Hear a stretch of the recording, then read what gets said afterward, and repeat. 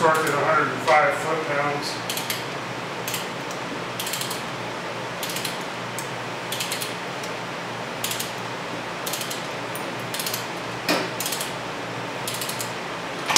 Nope, not too far back on it. We'll try it one more time if it doesn't, then we'll put the chain on and torque it. Here, let go of the brake for one second. Okay.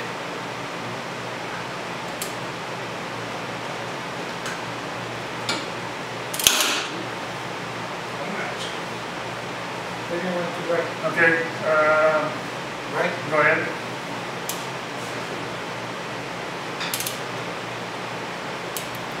Harder than you put it.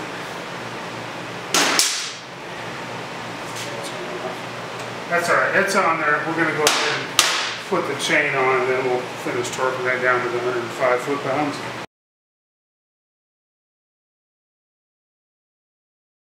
All right, so now we're gonna cut four links off from the, uh, the new chain because the, the stock link size is 116. The one that he got came with 120 links, so we're gonna take four of them off. So I marked the one with the paint pen where to take off so I don't, don't accidentally mess up. That'd be a little costly. So same thing, we're gonna use a die grinder, just be real careful.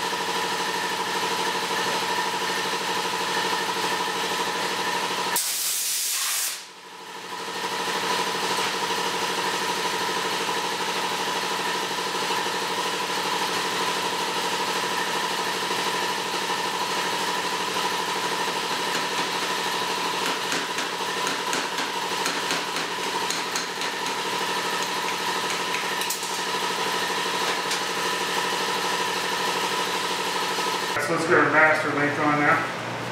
Yeah, the gaskets. yeah. Move up these shafts real good. What's for the the gasket now? Yeah, for pretty much everything. Nice and that grease now. Pretty much come with grease. A little bit of oil.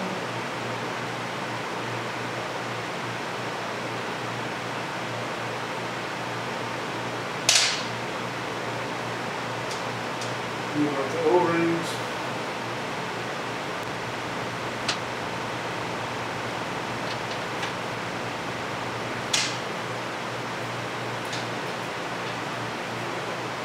Just move the backside here.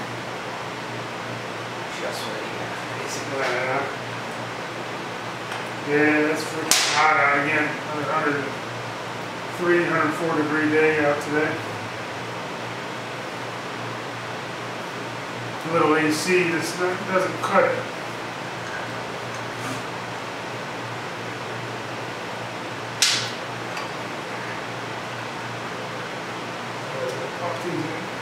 Keep off that other side. in.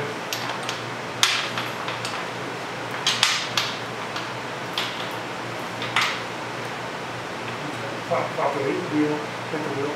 What? There. There.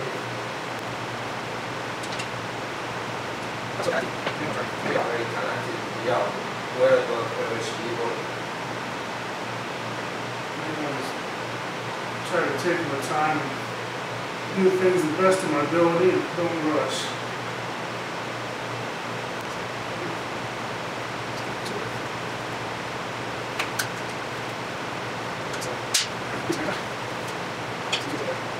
Thank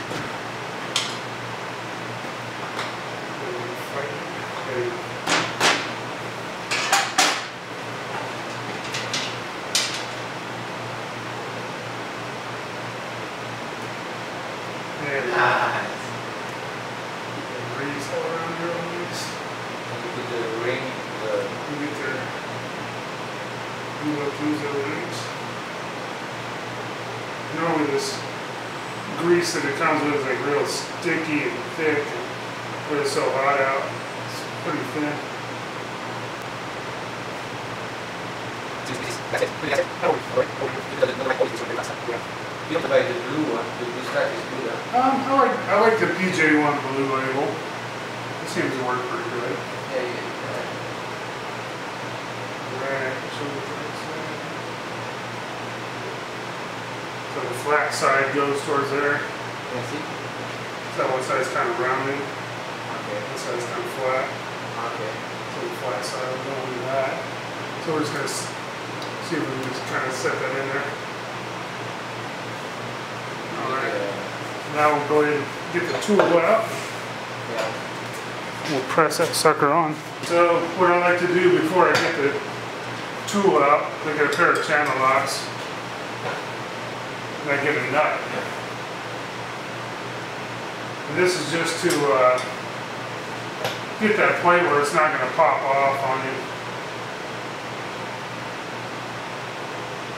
To make sure the hole's big enough for the rivet to go, pin to go through. And just take and squeeze that plate on a little bit. Just go back and forth a little bit.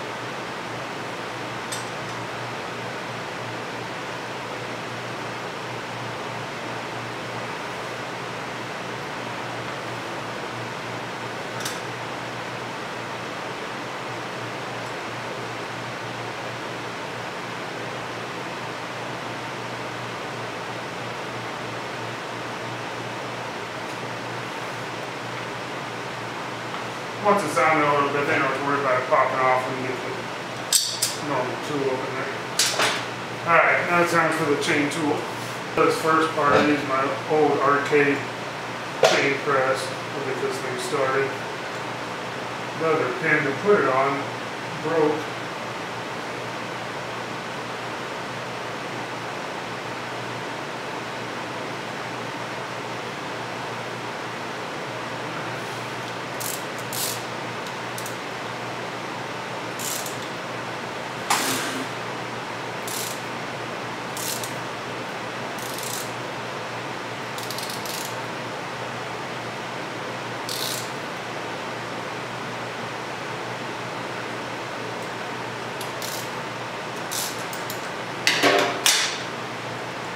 So what I like to do is I like to get my calipers out and measure the distance on this plate and try to set this about the same before I flare the, the rivets.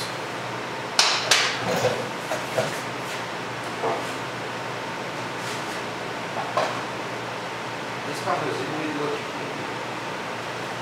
It is loose here. Yeah, yeah, that's what he's going more. So we'll get our calipers, we'll measure one of the stock plates.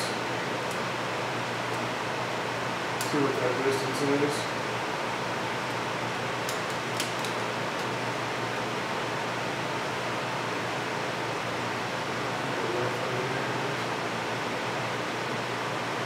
Uh, roughly twenty point four millimeters.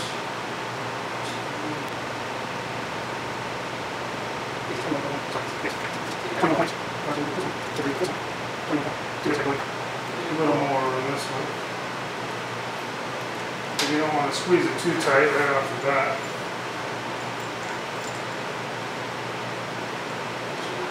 Rivets in a little slot.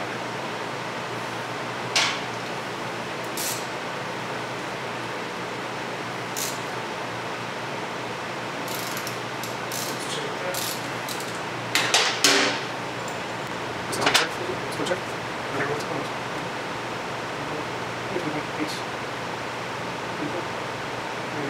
Seven-ish.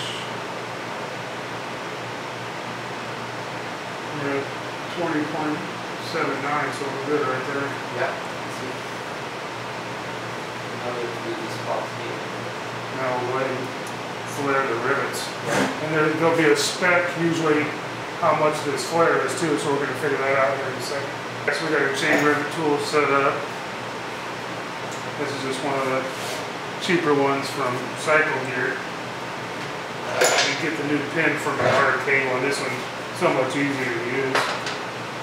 But this will do the job.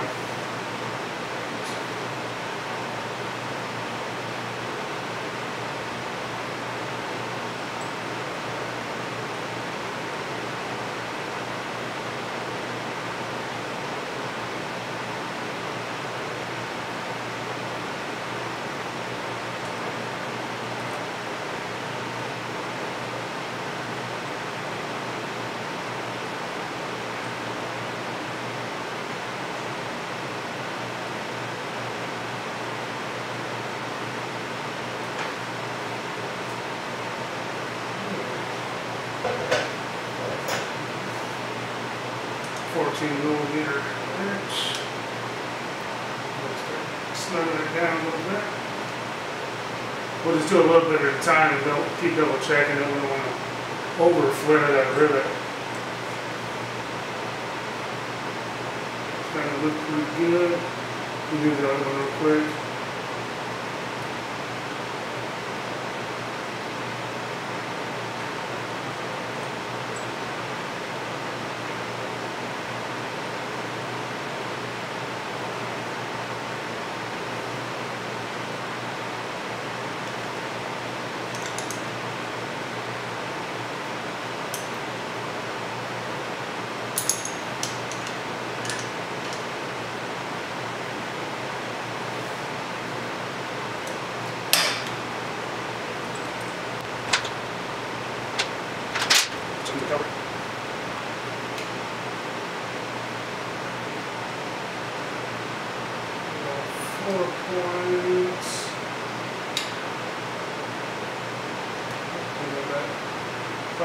5.28, 5.28. So those are the same. I'm just going to check one of the stock ones just to see what. 5.62, but that's a whole different type of rivet. But the main thing, if you got that thing rolled over on there, that thing is not coming off. Thank.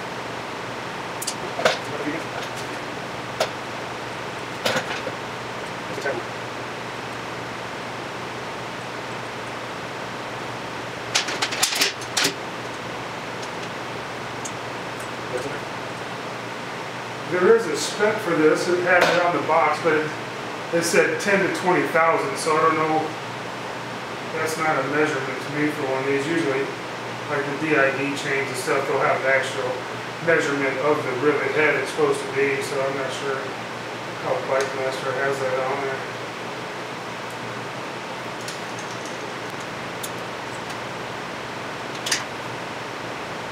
Come on.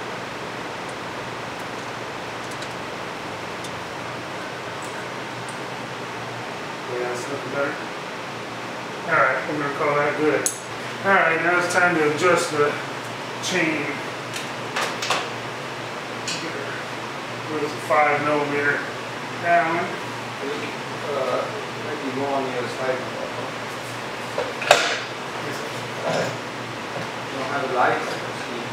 Oh, no, we're just gonna get the, uh, we're just gonna get it rounded up. So the, the sag, or the slack on here should be about one point two inches. I just call it inch and a quarter. I'd rather always have it on the looser side than the tighter side.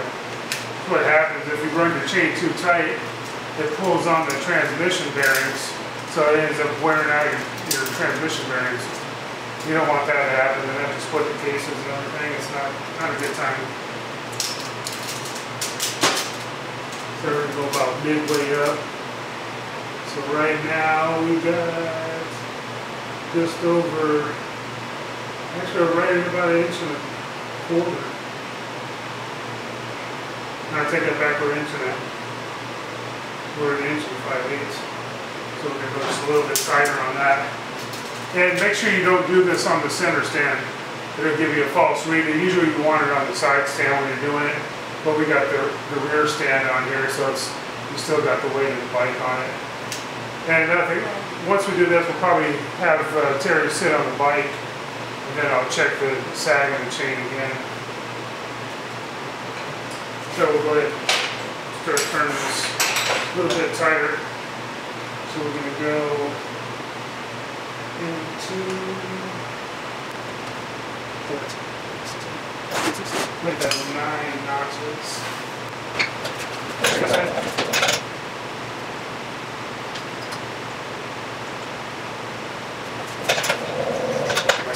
Even on both sides, let's check this again.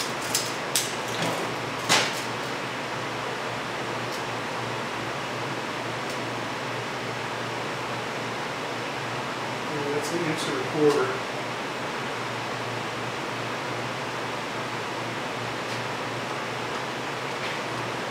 Is it big more? Yeah, we could go,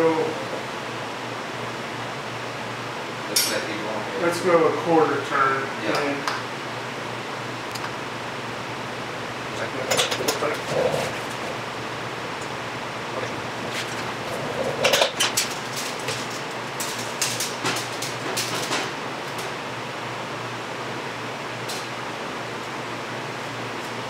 We're About an inch and three sixteenths roughly. Looks good, no? Yeah, that's right at the top end of the spec, so we'll call that good.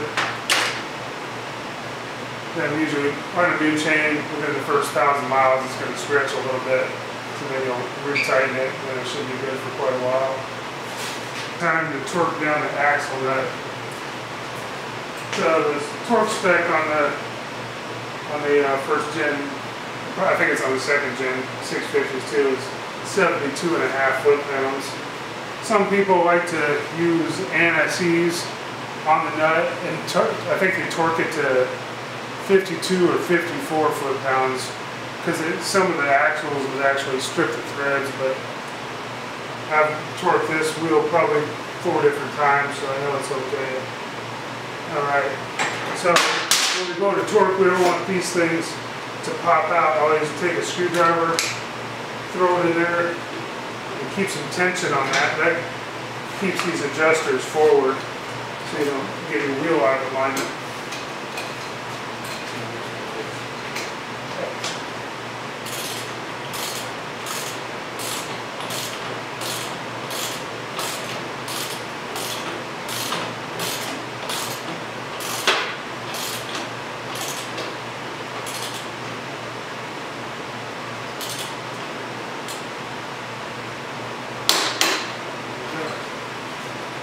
Now we'll put our cotter pin back in and that'll be ready to go on that part. Now it's time to go and put the clutch mechanism back together. So nine times out of ten you're gonna have this thing come off this little spiral here.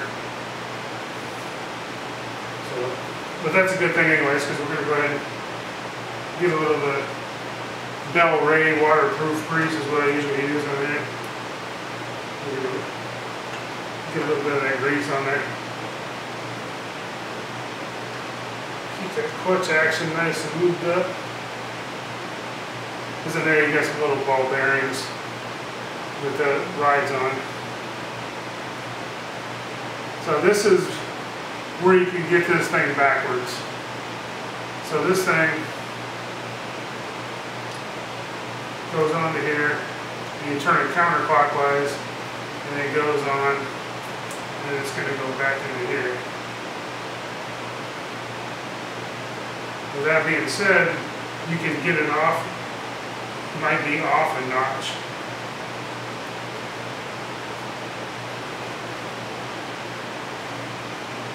Now, first of all, I gotta put it in there.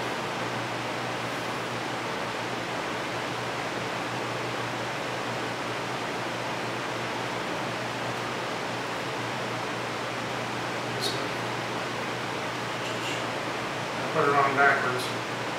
So we got this side, that side, this side goes on there. So you'll have that little nut and a little slide thing. This is where you adjust the free plate for the clutch push rod. So this goes into the clutch push rod, then that'll bolt into there. Then you got your, got this, down here. And this will hook from behind, you can just hook that on first. And that'll go on the back.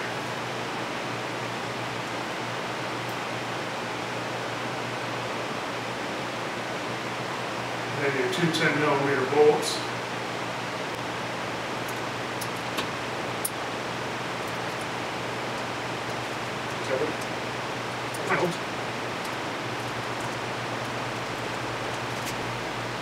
So we're gonna go ahead and just hand tighten these.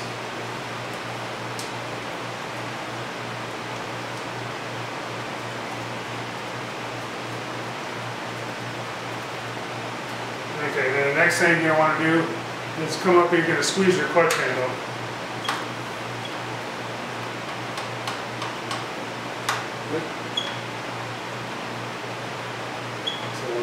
Sometimes you won't know until you go to put it in gear. That should be right.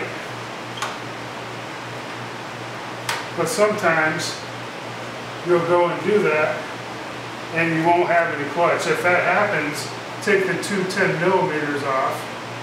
Here, I'll just, uh, I'll demonstrate it. Take it out again. Yeah.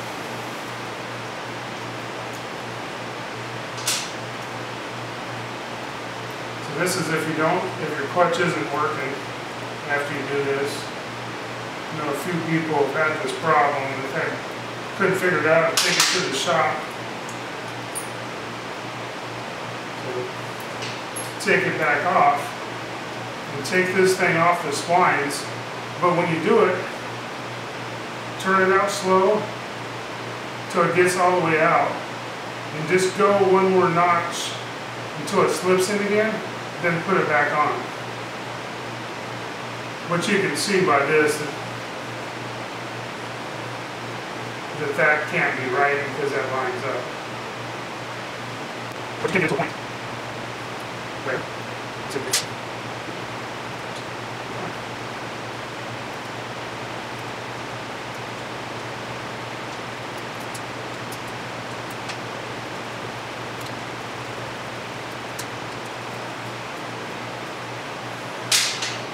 You can get it on here. It, it still feels like it's pulling on it. And it still may be okay, but we won't know until after we actually started to put it in gear. So we're gonna, we'll do that before we put the cover and everything back on.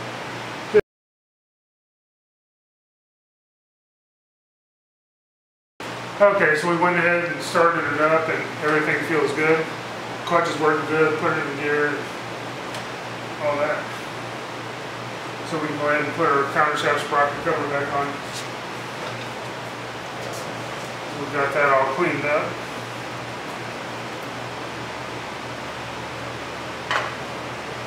So we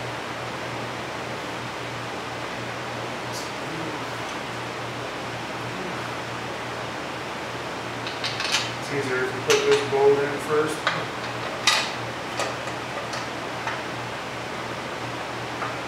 I'm just gonna double check those, uh, ten millimeters, I know I them down. These are like, these are like probably seven foot rounds.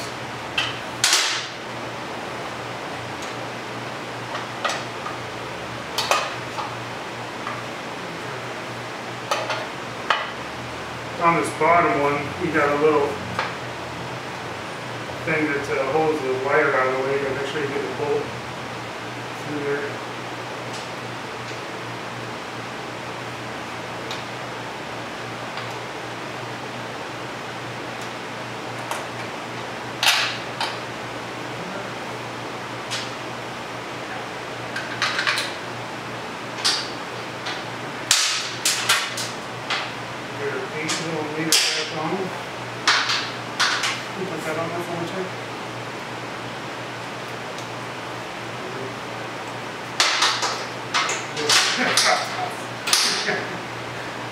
try to overturn it.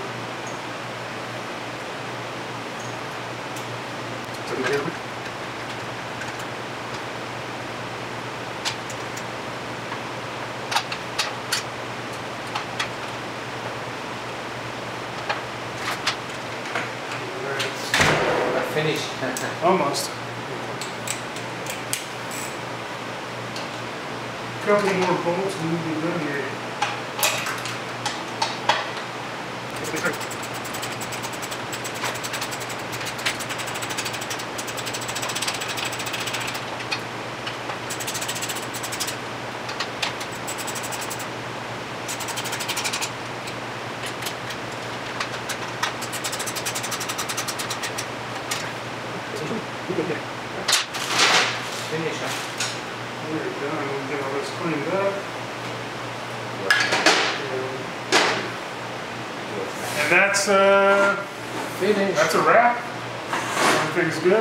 Chains in line, everything's tight.